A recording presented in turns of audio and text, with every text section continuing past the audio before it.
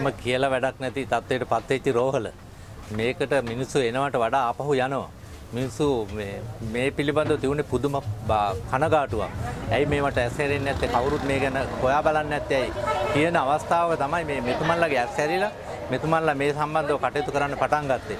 ඒ පිළිබඳව මිනිසුන් තුළ තියෙන පුදුම නිහතමානී සතුටක්. ඒ පිළිබඳව මම හිතන්නේ ඉදිරියේදී ඔවුන් වෙනුවෙන් කළ යුතු සැබෑම යුතුයකම ඉෂ්ට කරන්න බලාපොරොත්තුව මිනිස්සු අද වෙනකම් මේ ඉන්නේ.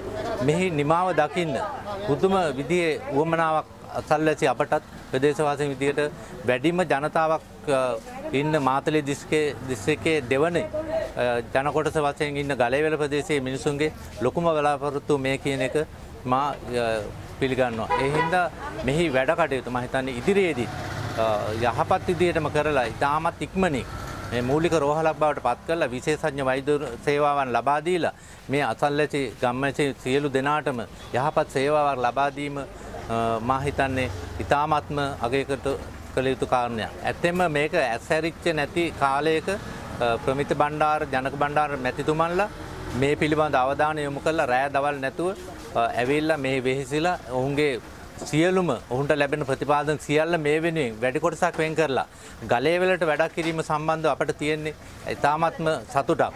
මේ ඉදිරි වැඩ කටයුතු එතුමන්ලා දෙන දෙපළගේ මූලිකත්වයෙන් නිම කර දීලා සංවර්ධන කටයුතු ඉතාමත්ම සාර්ථක නිම කරලා මූලික රෝහලක් බවට පත් කරලා වෛද්‍ය සේවාවන් ඉතුරු වෛද්‍ය පහසුකම් සියල්ල ලබා දීලා අහිංසක මහජනයා වෙනුවෙන් විශාල සේවාවක් කරයි කියන විශාල බලාපොරොත්තුවක් අපි තුළ තියෙනවා. ඒ බලාපොරොත්තු ඉෂ්ට කරන්න එතුමන්ලාට ශක්තිය ධෛර්ය වාසනාව ලැබේවයි කියලා අපි ඉත සිතින් ප්‍රාර්ථනා කරනවා.